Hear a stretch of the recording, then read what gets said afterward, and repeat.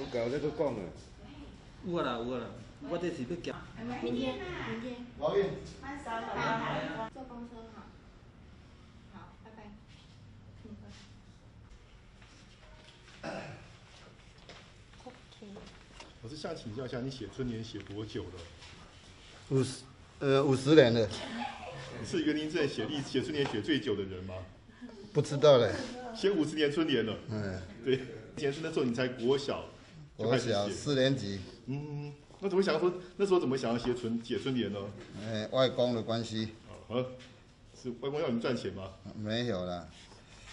就是外当时是外公是那个私私塾的老师。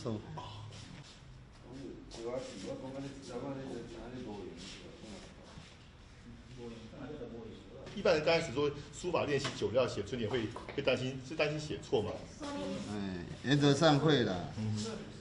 啊，习惯其实熟练就好了。嗯，是。都是用什么字体比较多？行楷，行楷哈。哎，行楷比较多。嗯，那是因为行楷比较受欢迎嘛？对啦，而他那个字比较活泼了。是。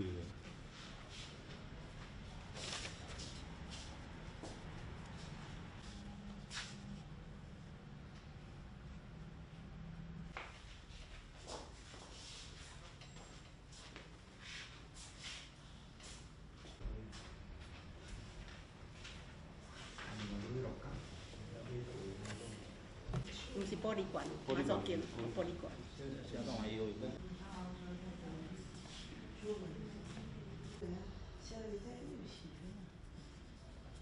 哦哦哦。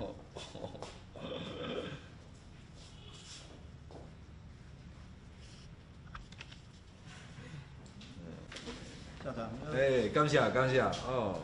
哎呀，那人比啊。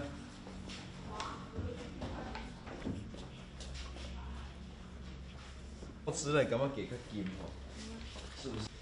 卖欧比拉，这是茂章大哥跟旺神大哥的，哦，对对，可能，我们这有新贵。